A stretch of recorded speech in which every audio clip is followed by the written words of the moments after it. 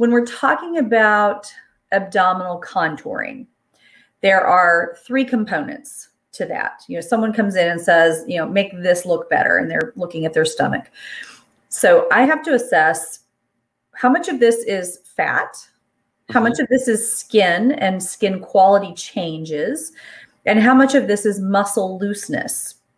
Men don't have muscle looseness for the most part, unless they've weighed, you know, 350 pounds and now they've lost 200 of those pounds they might have some muscle stretch similar to a, a, pregnancy, just from the previous intra-abdominal fat that was there to expand those muscles. But for the most part, muscle is not a problem for the men.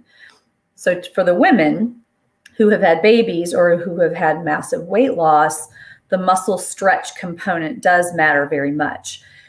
So if someone comes in with no muscle issues, good skin tone, and just some extra fullness that they want to contour, we're not necessarily going to talk about a tummy tuck. That's going to be liposuction. Oh, okay.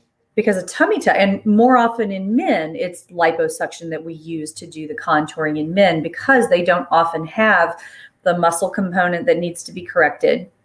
Uh, and they usually have better skin quality than women. Again, unless they've had massive weight loss, because stretch marks set in, and that's a sign of loss of elasticity in skin. Once you have stretch marks, that skin's not going to snap back and ever be flat and smooth again.